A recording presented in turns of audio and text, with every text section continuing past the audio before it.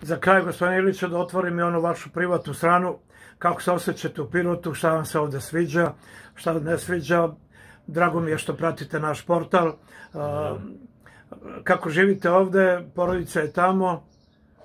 Porodica će sada doći jedno vreme, pošto je raspust i godišnji odmor, da bude ovde sa mnom, ali evo, Pirot, kad odem u Beograd, sve mi više nedostaje, počinjem da zabrinjavam sebe.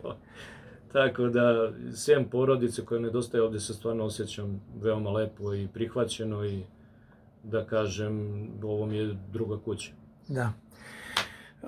Čekali smo dugo, dogovarali se vi obaveze, ja obaveze i tako dalje. Meni je drago da smo razgovarali, drago mi je da će vaši radnici i piroćanci da, da potpuno spoznaju jednog uh, izuzetnog čoveka, dobrog čoveka po karakteru, po duši, sposobnog čoveka, tako da meni je drago što smo postali prijatelji, ako to prihvatate, i meni je drago što ste iz Beograda došli i što ste ovde.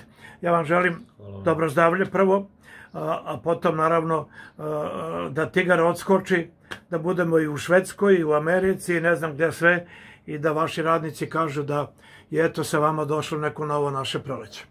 Hvala nešto na lepim željama, ja sam siguran da ćemo u tome istrajati i da će stvarno tako, tako i biti.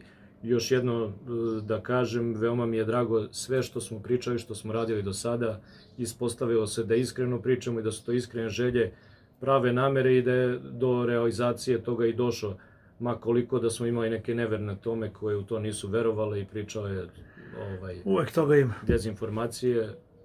Informacije su bile prave od nas i, i vas vraćam se onome kako sam počeo, ja sam vas razumeo kao čoveka, imali ste ne našu podršku, već smo nastojali da, da objavljujemo stalno istinu koja je neophodna radnicima kada ujutru u šest krenu da znaju gde su krenuli i da znaju ko je njihov generalni direktor. Jedan dobar, častan, uspešan čovek Vladimir Ilić.